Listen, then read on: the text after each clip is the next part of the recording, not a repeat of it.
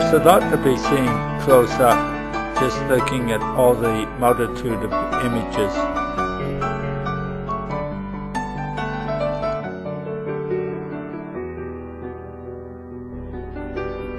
This is absolutely a tremendous view.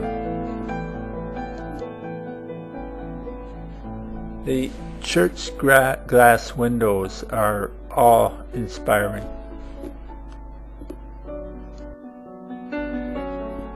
There's even a circular case, staircase, to climb up into the spirals and the bell. The bell is absolutely huge. Standing there, you can hardly touch it. You look up and up for miles. Well, and these stained glass windows do inspire faith.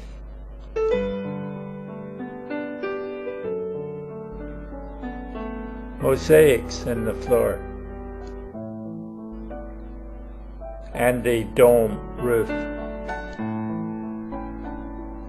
Like all Gothic churches, it's long, narrow, and exceptionally high.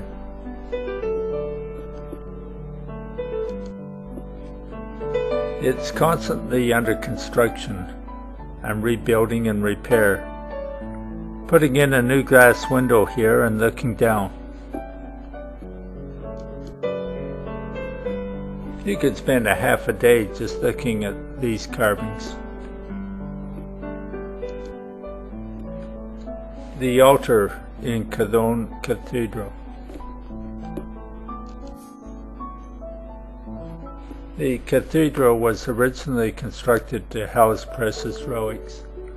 The shrine of the three kings was said to contain the bones of the three wise men, or the three kings, or the Magi.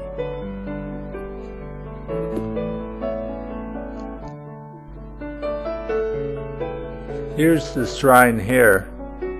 I don't know if it's really encased in gold or not, but it's very impressive.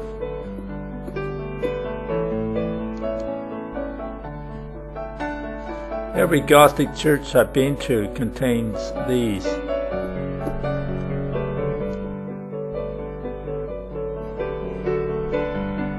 I don't know, it must be satisfying to be buried underneath uh, a cross with Jesus Christ and angels.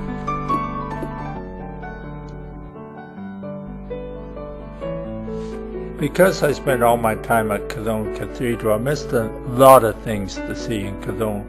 One was the University of Cologne with 45,000 students, the largest and most popular German university in the center of Europe.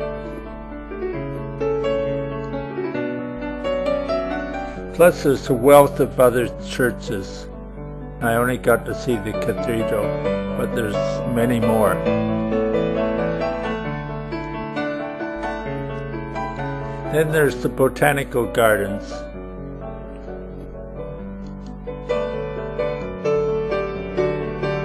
And I could have eaten in the restaurant in the communications tower. It wasn't built when I went through in 1975. It was erected, I think, in 1981.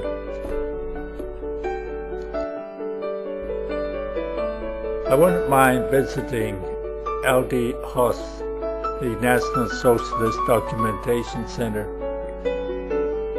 uh, housing a gang of Nazi thugs. It actually shows the blood reading about what they did. Thanks viewer for joining me on this brief visit to Cologne, Germany.